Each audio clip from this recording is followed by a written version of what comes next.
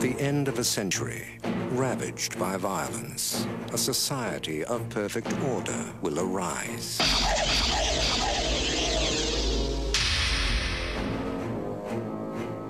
Criminals will be frozen and reprogrammed in cryogenic prisons. The prisoners are ice cubes. Their criminal instincts are being reprogrammed as they sleep.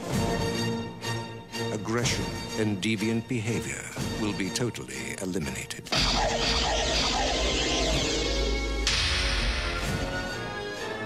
He's a criminal the likes of which you have never seen.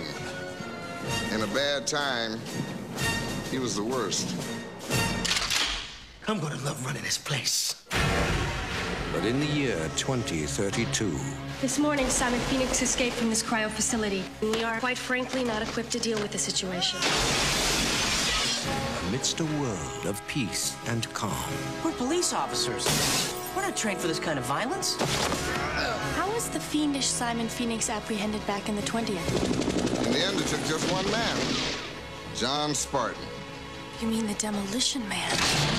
The conditions of your parole are full reinstatement into the SAPD and immediate assignment to the apprehension of Simon Phoenix.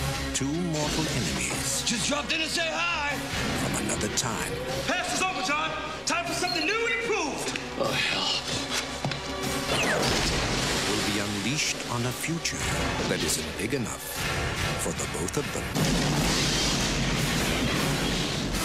Sylvester Stallone, Wesley Snipes, Demolition Man.